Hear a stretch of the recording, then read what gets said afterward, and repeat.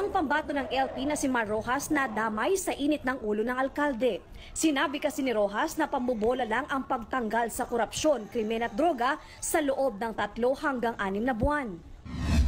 Wala si Mar kasi lalaki ako itbayot. Hindi niya kaya. Kaya ko sila ako itbayot.